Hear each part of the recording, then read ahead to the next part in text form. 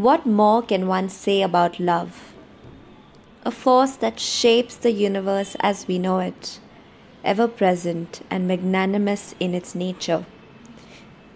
All at once, almost hidden and unreachable in the present moment. A stifling present moment that seems dire, dark, devoid of hope and empathy. And as it closes in, we ask, Where is the love? But there is a crack in everything through which the light shines the brightest. And that is where the love is. Now we need more than ever before to share, empathize, and hope. So tell us, tell us where these cracks are. Tell us, where is the love?